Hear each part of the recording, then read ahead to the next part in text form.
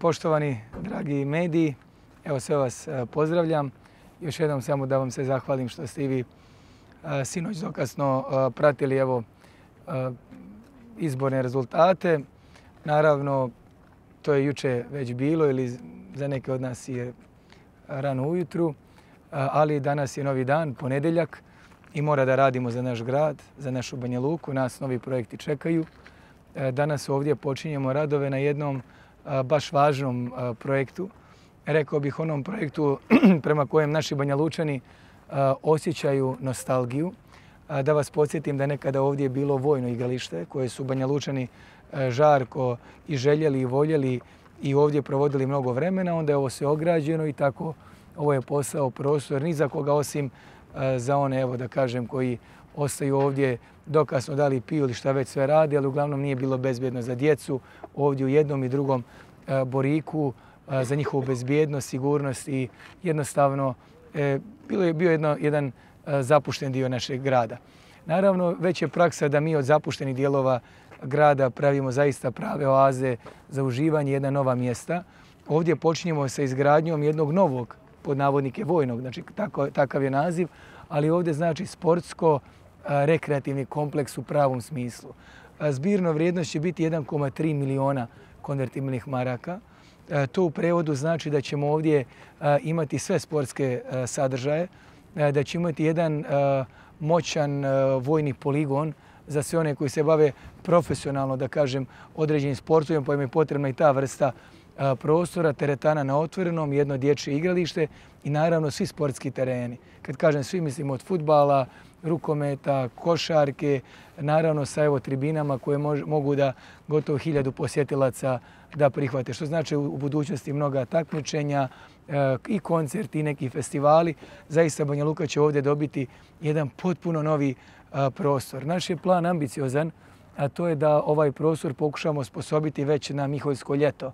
Znači da kažem u mjesecu e, oktobru, eventualno i u novembru, zašto da ne zna, zna biti vrijeme pogodno, da ovdje bude sport, rekreacija, druženje, da sva djeca iz Borika, centra, Le, centar, imaju mjesto gdje zaista da uživaju. Ovo što će posebno krasiti u taj vojni poligon, ko što je jedan potpuno novi sadržaj, bit će prostor za vožnju e, rolera, što je puno mladih ljudi tražilo i jedna važna stvar onim tamo tribinama bit će jedna zona za uživanje, sunčanje, opuštanje, zaista eto isto je jedinstvenog sadržaja. Ono što smo dobili puno upita jeste jedan važan projekat koji je pitalo puno mladih ljudi, to je izgradnja skate parka. Da znate da smo radili projekat, idemo u javnu nabavku i evo čim prije bude e, to moguće kod dvorane Obilićevo gradit ćemo i prvi skate park uz ovdje prostor za e, roller evo, ili roller park, kako god to neko nazove, ako možemo tako da kažemo. E, evo, hvala izvođaču, mojim saradnicima. Prvi novi radni dan, prvi ponedjeljak. Počinjemo radno, punom dinamikom. E, danas ću isto tako da obiđem radove na kružnom toku kod Akvane, gdje je procjena da bi e, u narednih e, dve sedmice mogli da završimo potpuno radove i tu, što znači da evo zagužvanje koje se zna desiti tu kod kampusa na istočnom tranzitu e, će prestati.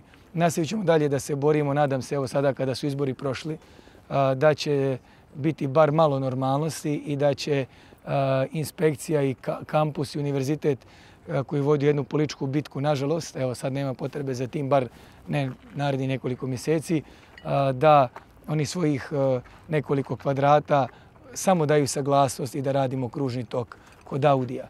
Dakle, ono u čemu je tu problem je za mene nevjerovatno, a to je da kampus kaže to je naša zemlja. Da, to je vaša zemlja, ali to je i gradska. A kod, od kampusa to je i gradsko, kod, od gradskog to je republičko. Pa valjda nećemo jedne, druge, jedne druge da kočimo.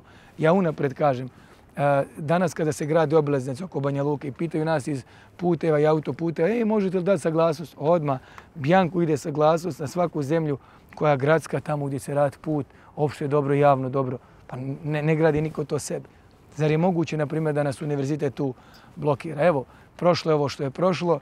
Mi se nadamo da ćemo odblokirati radove na Audi kružnoj raskrsnici, kroz 15 dana završiti kod Mercator ili Akvane i evo, kroz 15 i 20 dana ćemo završiti radove ovdje na vojnom igralištu I evo, želim da i odavde pošeljem poruku. Kada su izbori prošli, vi vidite da se meni možda još više žuri ili jednako žuri da radimo, da gradimo, da otvaramo gradilišta, da ih obilazimo. Danas ćemo imati 4-5 terena koji su važni. Radimo put u debeljake, nastavit ćemo to, nećemo stati kroz, kroz priječane. Tako da samo rad, red, disciplina, trud i posvećenost daju nove obrise Banja Luke i evo, moram reći sa tim entuzijazmom, vidio sam da su naši građani to prepoznali, da im se sviđa jedna nova Banja Luka koju smo već izgradili i naravno koju ćemo nastaviti da gradimo.